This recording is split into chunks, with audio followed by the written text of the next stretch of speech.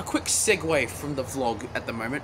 I want to call this week Mental Health Week. I'm not some mental health week, I mean.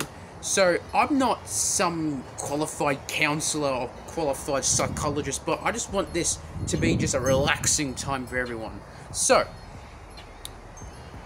if, if you're stressed or anything, just come in your backyard and just sit in solitude. Just just sit by yourself, no distractions, your phone, your, all your technologies away. Just sit down and relax and just ponder on the world. Just like ponder, just just think really. Just think. Listen to nature, and I don't know. You feel relaxed. It depends on the person. You may feel relaxed cooking. You may feel relaxed doing whatever you want. A hobby.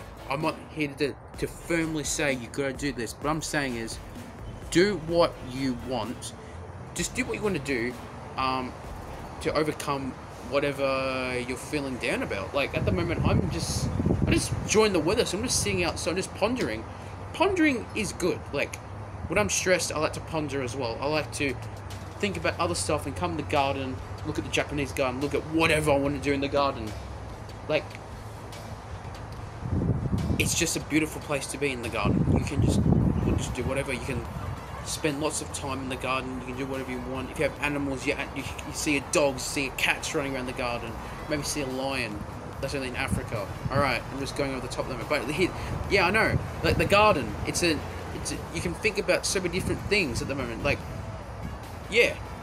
If I'm going anywhere, all right. So let's just get back to the vlog.